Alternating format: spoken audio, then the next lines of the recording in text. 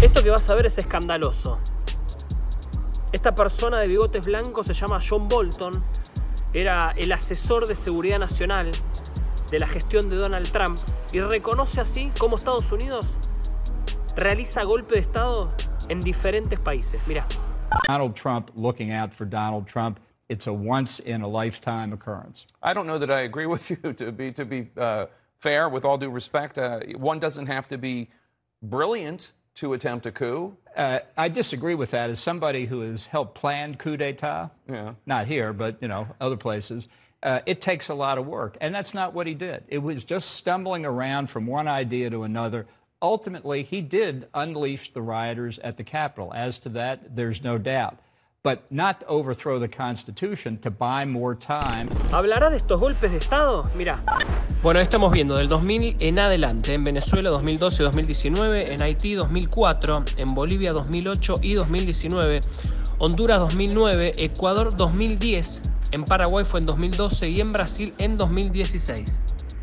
Justamente el expresidente boliviano Evo Morales, que fue víctima de un golpe de Estado en su país, visitó la Argentina esta semana y se reunió con Alberto Fernández. Dijo esto. Claro, Estados Unidos lamentablemente es bueno para sanciones económicas a los países liberados, promover el golpe de Estado, eh, intentar con intervenciones, intervenciones militares, y eso nos estamos liberando. Yo sigo convencido, antes daba miedo ser expulsado de la OEA, ahora es lujo herido retirarse de la OEA. Esto se está cambiando. Estados Unidos ya no tiene hegemonía en América Latina y el Caribe. Estados Unidos ya no es una potencia económica, puede ser potencia militar.